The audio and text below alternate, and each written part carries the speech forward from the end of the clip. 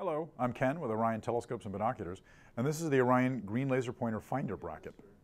So the green laser pointer is great to point out objects in the night sky. Instead of pointing at an object and everybody else around you saying, well, exactly wh where are you pointed? The green laser shoots a pencil-thin beam of light up and appears to touch the star that you're looking at.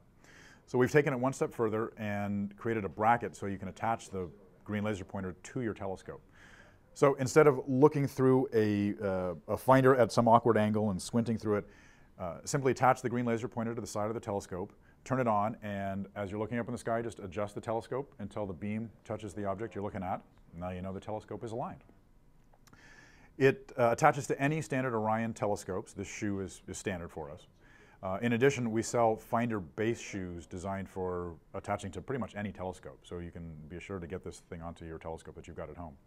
Again, the Orion Green Laser Pointer Finder Bracket. Thank you very much. Clear skies.